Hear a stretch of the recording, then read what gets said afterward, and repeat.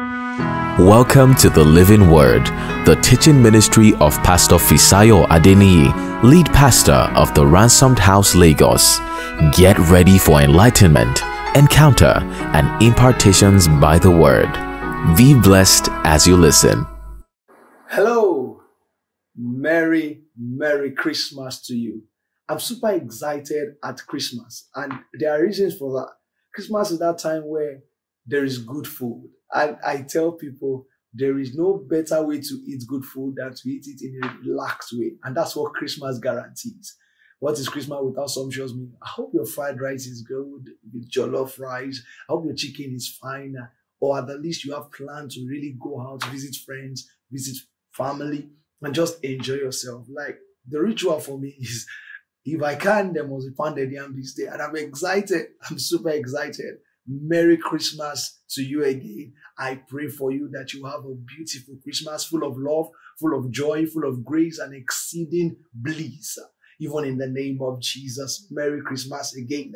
Now let's go to another sumptuous meal you will need on an unusual Christmas Sunday. That means the Sunday of Christmas comes once in seven years. So this is a Sunday of Christmas, and I want to bring to you the sumptuous spiritual meal, even of God's water, uh, for just a little while. Sit back; it's gonna bless your life. Uh, listen, open your scriptures if you have one to Second Corinthians chapter nine and then verse fifteen. Second Corinthians chapter nine and then verse fifteen. Um, Paul here was trying to describe, he wrote a letter to the Christians at Corinth, and he was trying to describe uh, the magnanimity or, or, the gift that Jesus represented in the world. And listen to this. He said, Thanks be to God for his indescribable gift. Thanks be to God for his indescribable gift. So taking a note from Paul, I want to speak very shortly on Jesus, the indescribable gift. Jesus, the indescribable gift. Father, thank you for the entrance of your word gives light, give understanding unto the simple. Thank you for the gift of your son. Father, as we go into your word, Father, let your word distill upon our spirit. Let us be able to run with your word. After now, make us better people. We've not gathered for culture, for tradition, but to learn at your feet. Thank you, Father. In Jesus' name and amen. Jesus, the indescribable gift. You know, I, I, I met many people and um, we'll talk about uh, their love language. People talk about words of affirmation. They talk about quality time, uh, and and then some people talk about gift. Uh, um, I know a few folks who said gift does not do anything to me. I don't think there is anybody that gift does not do anything to, uh, because gift has a way of touching us in a different way. If you say, you know, gift is not just I don't love gifts, maybe you don't love it, but you like it. Uh, let's talk about if you say no, probably we try you with a Toyota Prado uh 2021 and let's just park that in front of your house right now. You discover you like gifts. Another thing, another thing is uh, what if you get you a house, somebody give you a gift of a house at Asokoro in Abuja, you will suddenly just like gift. So maybe what you don't like about gift is the quality uh, of the gifts. Um, today we are celebrating the best gift uh, humanity has ever been given. It's not just a gift to me. It's not just a gift to you. It's a gift that humanity has been given. And there's no gift that will ever surpass even the gift of Jesus, uh, even to the world. I like to start by speaking on the things we should know about gift. Number one is that gifts delight the soul. We are in the Christmas season. And one of the things that happen during this season is that there's a lot of gifts uh, going around, ampers. Uh, if you value people, you give gifts to them. You try to let them know I appreciate you even in my life. And this is fine. We are emulating the gift uh, that God had given. Uh, and what does that give? It delights us. It brings laughter. Uh, I, every time I see my children uh, go under the tree and try to open, unwrap their gifts and say, Daddy, what's in my gift? Then when they see the joy on their face, just priceless, priceless, priceless.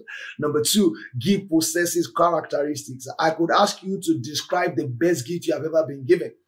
Um, some people say it's a laptop, and I mean it's a Dell laptop. It's it's gray in color. Uh, some people say, ah, my best gift is a shoe because they have color, they have shape. Uh, uh, uh, what does it look like? You can explain that. What color does it look like? How much does it cost? Uh, uh these are characteristics that gifts have. And Paul was talking about Jesus being the indescribable gift. And you begin to talk about the color of Christ or, or, the, or the shape of Christ or, or how much is the value of Christ. Uh, but then I'm, I'm, I'm overreaching myself here. Number three, every gift costs the giver a thing. Uh, you remember David was speaking uh, and he was talking to the prophet. He said to him, uh, um, I will not give God, second Samuel chapter 24 and then verse 24. He said, I will not give God that which I won't offer him. I'll give you an offering that does not cost you.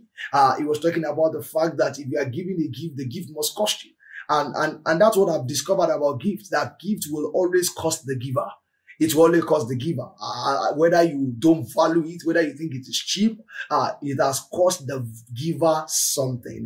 And uh, this point to an important element, uh, and that's the element of sacrifice uh, when it comes to giving of gifts. Uh, sacrifice. every gift is given with an element of sacrifice because they have to forego a thing in order to get you even that thing. Number four, gifts are given according to ability. The gift you are giving tells you the capacity of the giver. So you cannot come and say, you know, see what he gave me. You know his value. You know how much he earns or what he has. It is accepted, Jesus said, according to that which a man has. So it is what you have. And the gift of Christ was made possible because God has the Son. Without God having the Son, he would not be able to give us the gift of the Son. So it tells us the capacity of the Father. What does he have? Number five, the giver of gifts gives gift that is valuable to the receiver. Now, this is very key. Uh, at certain times, I don't know whether you have ever been in that spot when you want to give gift to somebody, but but you you you are just perplexed. You don't know the kind of gift to give them, especially if they are um, rich or wealthy. It seems like they have everything they need. I, I remember when those days we want to just buy something for my father in the Lord. And one of the things we say is, what do we buy? Uh, myself and my wife can be on this for like a month uh, because you can, we think, I, I know, I know where he puts his shoes. Uh, there are plenty shoes. Uh, you can buy him a Bible. You, you can buy him, you can buy him native attires. He has plenty of that. So you, you begin to wonder, what can you give him that will serve a purpose? Uh, because you want that gift to be valuable to the person you are giving them to.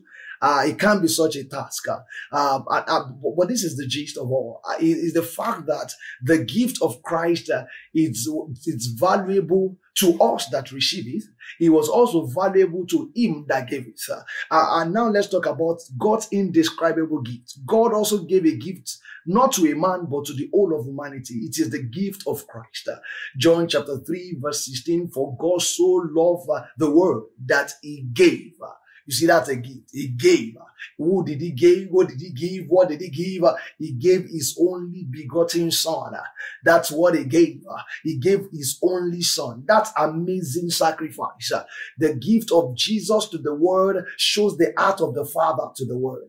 Somebody said, I don't know if the Father loves me. I say, you don't need anyone to tell you of the love of the Father. If you can look at the sacrifice of Jesus, if you can look at the fact that Jesus came, then you can tell that you are the beloved of the Father. Second Corinthians chapter 9, verse 15. Paul was trying to describe the amazing gift of the Father.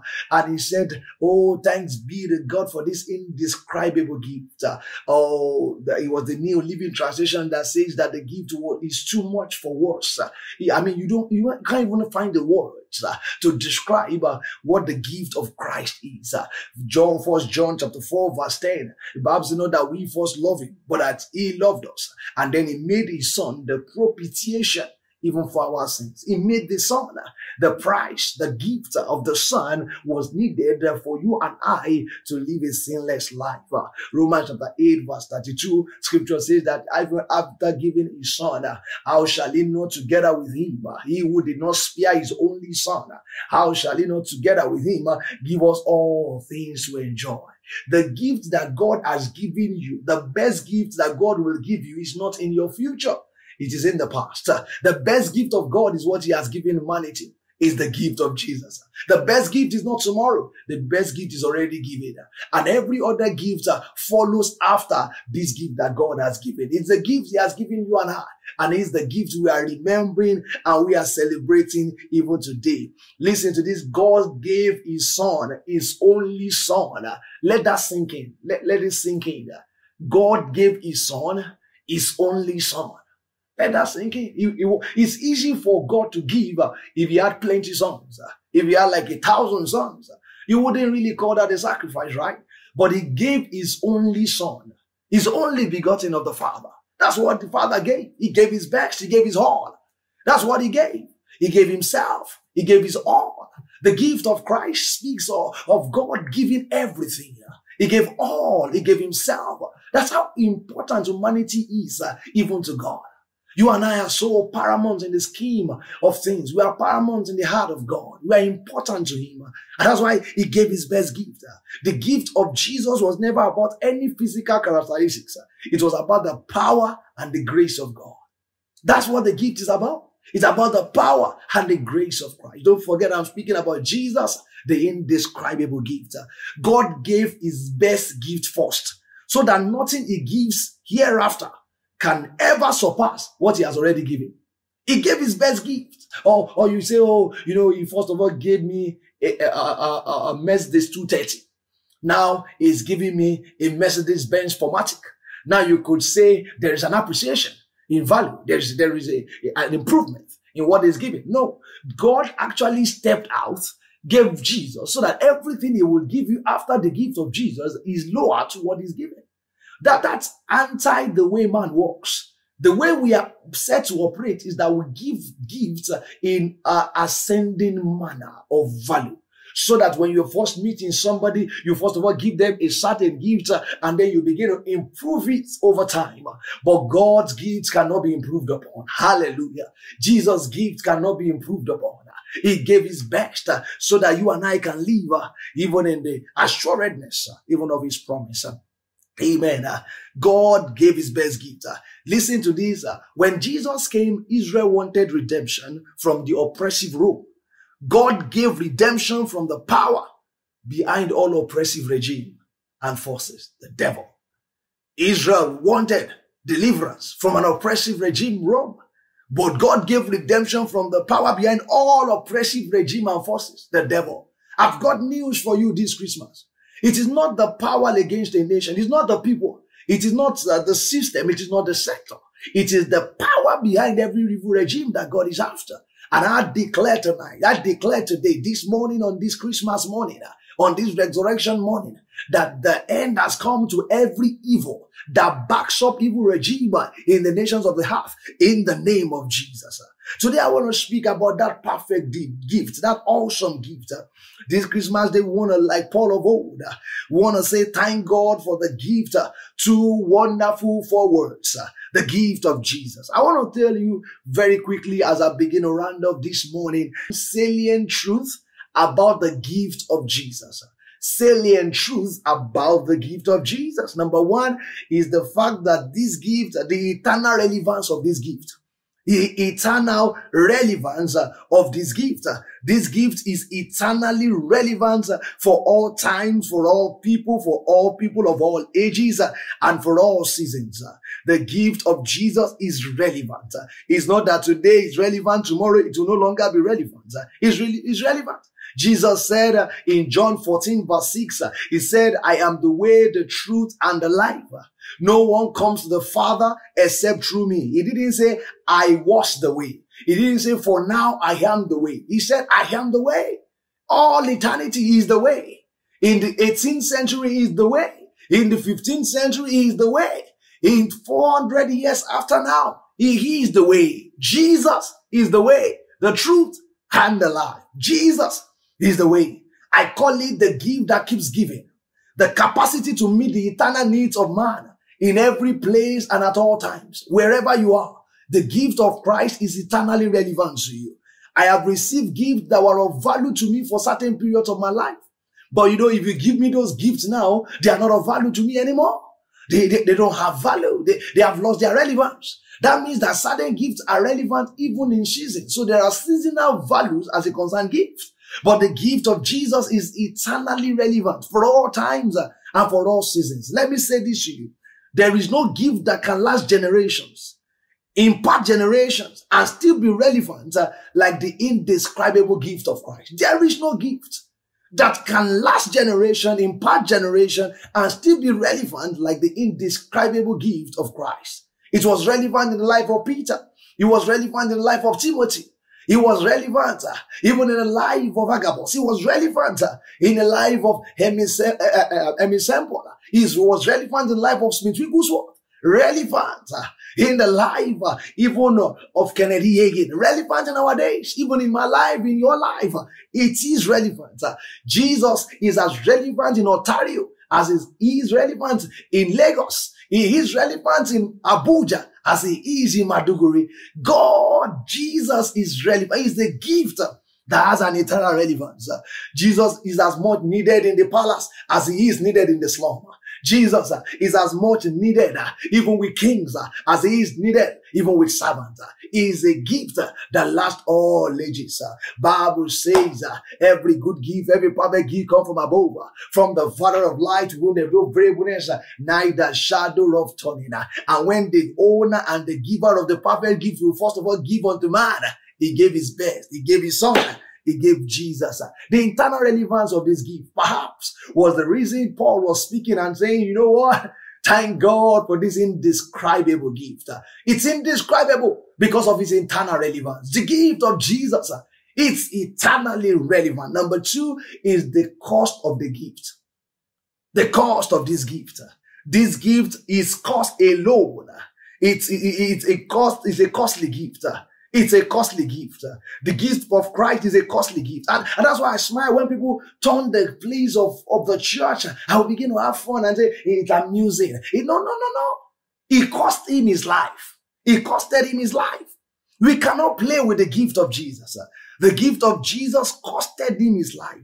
John chapter 10 and then verse 11. He said, I am the good shepherd.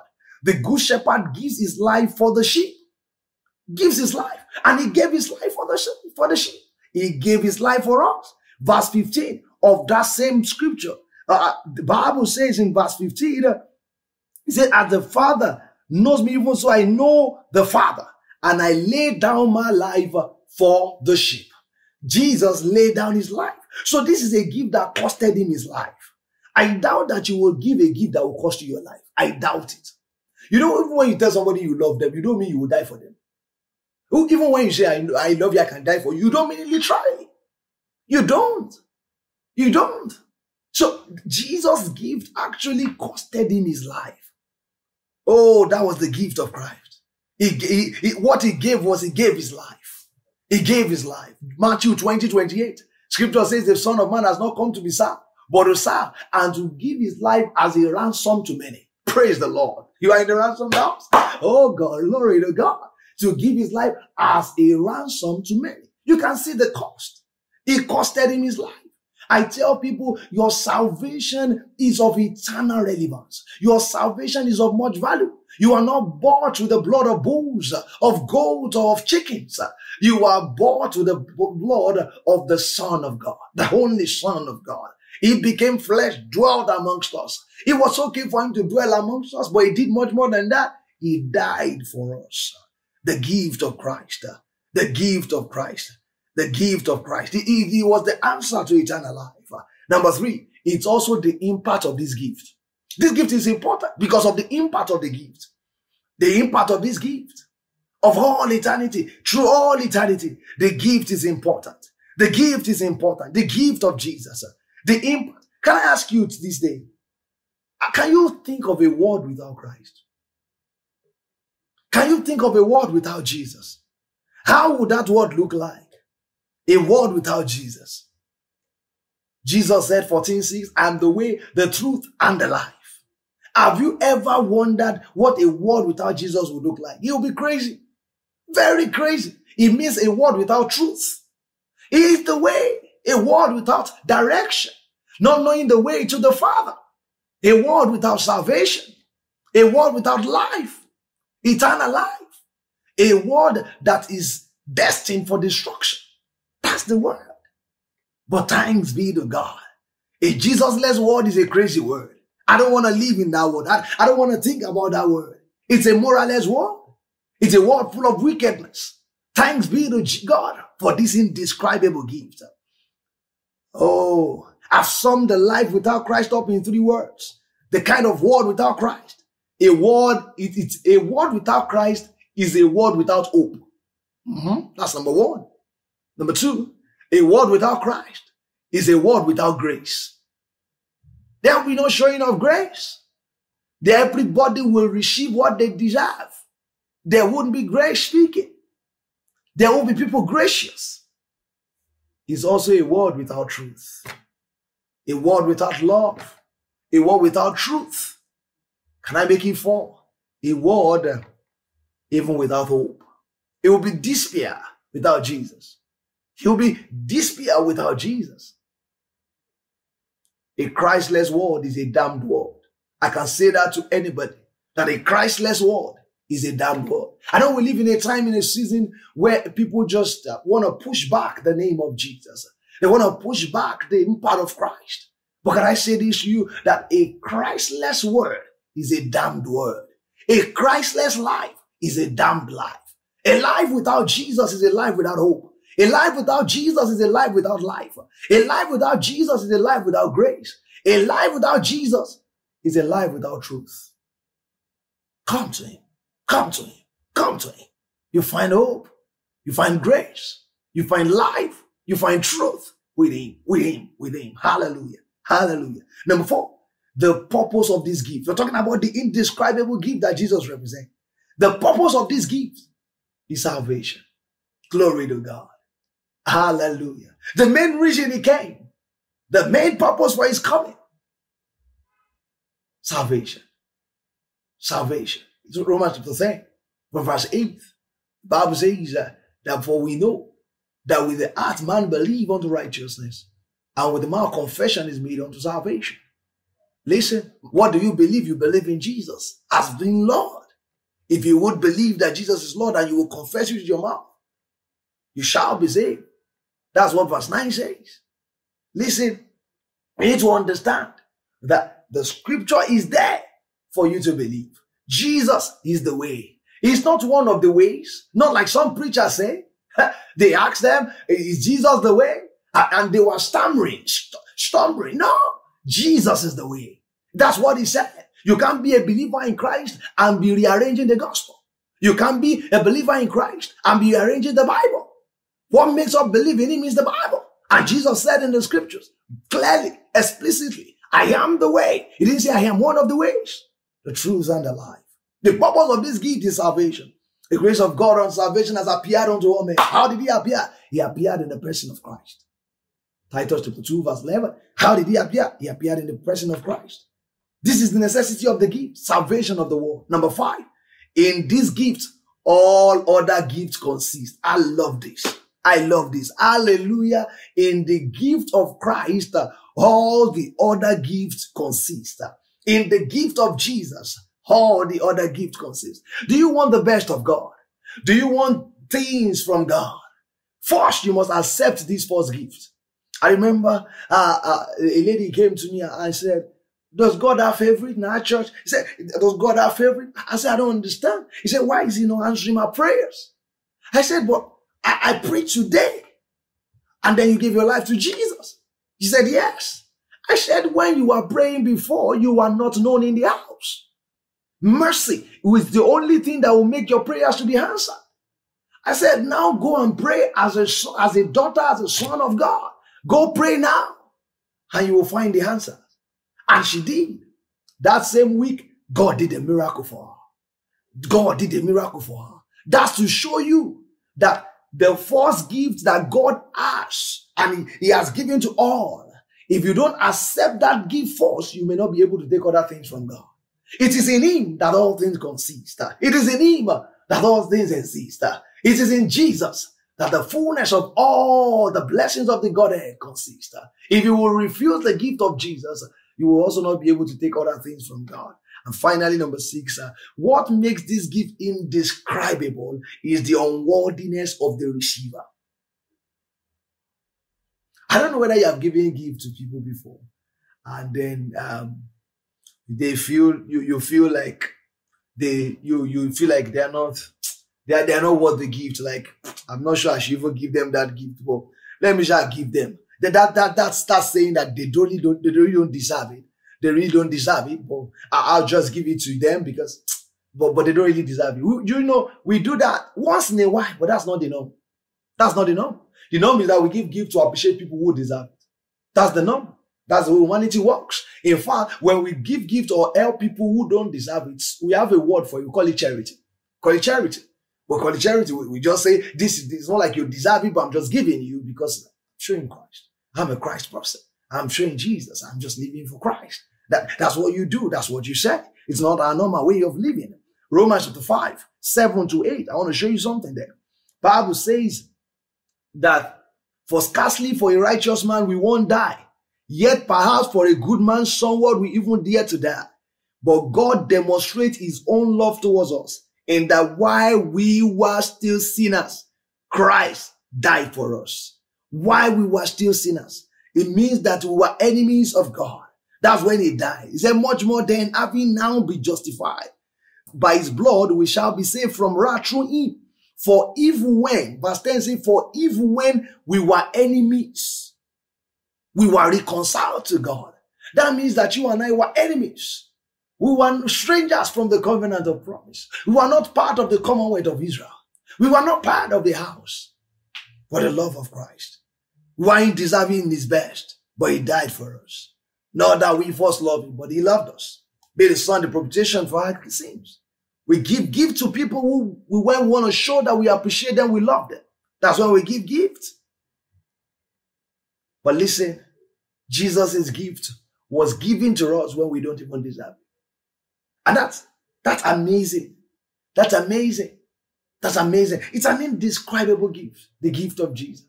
There's so much wrapped into him. So much wrapped into him. I remember the day I began to follow Jesus. And after some months, I felt I knew him. I felt I knew him. But I, I, discovered later that I entered again into another depth of revelation. So I've discovered that the more of him you know, the more there is to know. The more of him you come to, the more there is to come to. Jesus is a gift, is a person that can never be consumed to the end. You can't finish him. You can't see him finish, like they say in the street in Nigeria. You can't. You can't know him all. There is still more to know. The more you know, the more there is to know. How do you describe this gift that they gave you and you have been unraveling for more than 20 years? I know people who have been unraveling Christ for more than 40 years. I know. People who have been unraveling Christ more than 40 years and they're still learning deep things. They are still learning new things. What a gift. What a gift. What a gift. It's been more than 10 years. 15 years now of trying to know Jesus, of following hard after him, of, of trying to understand what it means to be Jesus, of what it means uh, to be a follower of Christ, of what it means uh, to be a pursuer after him, to, to, to live and pattern your life after him, to be an imitator of Christ. And I can tell you, I have not fully known him. And I'm not sure there's anybody on this side of eternity that will fully be able to unravel even this gift that is amazing. I've preached and I've come to the end of this sermon. But I think I've done it. This is one of the sermons that I think I've not done a very good job. Why? Because I, I try to describe the indescribable gift. I try to describe the gift that is too marvelous for words. The NLT say it's too wonderful for words. What a gift. What a gift we have in him. What a gift we have in him. I've spoken so much, yet I still feel there's so much to say out of that which I know. And there's still so much that I do not know. What a gift. What a gift. That on that day, in Jerusalem, on that day in Israel, in that manger, the Savior of the world was born. On that day, in a manger, there was no place for him in the inn. The Savior of the world was found. He didn't look like it. It didn't look rich. It didn't look wealthy. It didn't look like he's going to influence the world. He didn't even look powerful. But God is in the small things. When God starts out, he starts out small. He started out in an unusual manner. You would expect him to have been born in a palace, probably in Rome. But he was born by Virgin Mary. What a God. What a King that we serve. It's such an opportunity to spend Christmas again, just remembering this gift, remembering all that Jesus has, all that Jesus means to us, all that Jesus is to us. And I want you in all of the eating, in all of the everything you do. I want you to take out time today to do what Paul said. And that's how we end today. Today. Second Corinthians chapter 9, verse 15. He said, Thank God for this gift. Too wonderful for words. Thank God for this gift. Too wonderful for words. I don't know whether you have received the gift of Jesus, but there is no greater gift. Somebody says, You know, I need healing. I, I need God to heal me. I need God to help me on my vocation, in my job, in my career. I can't guarantee the help of God except you receive the first one that He has given to all men. And that one is not dependent on prayer, it's not dependent on your calling, it's not dependent on your anointing. It's the gift of Jesus. Wherever you are, Jesus can reach out to you. You can reach out to Him because He's not far from you. It is you that you have been far from Him. It will be a pleasure this Christmas morning if you will say, you know what, Fisayo, PFA, you know what? I like to give my life to Jesus. I like to be a part even of the people of God. I like to be part even of this commonwealth of Zion. I like to be a member even of this household of faith. I would like to be part even of the Jesus family. If that is what you're saying, if that is your voice today, I like to pray with you. I like to pray with you. Can you, wherever you are, can you just close your eyes and say this prayer with me? Everlasting Father, thank you for the gift of your Son, Jesus. Thank you for sending your son to die on the cross, even for my sins. I believe that Jesus is Lord. I confess him as Lord over my life. I know that I'm a new creature. All things are past and all things are new. I open the door of my heart. Jesus, come in. Come into my heart. Live here. Dwell here. And let my life be a home even for you. Hallelujah. If you have said that prayer, you've received the gift of Jesus. You've received the indescribable gift of Jesus. And I'm glad and I'm super excited for you. I know that your life can never, never be the same again. Thank God for this gift. If you have not prayed that prayer, don't forget as you eat your food, as you eat your meal, as you celebrate this amazing time and amazing season, I want you to remember to thank God for the gift of Jesus. Amen and amen. Thank you for listening. This has been the Living Word. If you have been blessed by this teaching, or for counseling, or any other inquiry, kindly send us an email to pfa at theransomedhouse.com or fisayoadeni at yahoo.com or please call 0912 772 3824. The Ransomed House, empowering people to live for Jesus.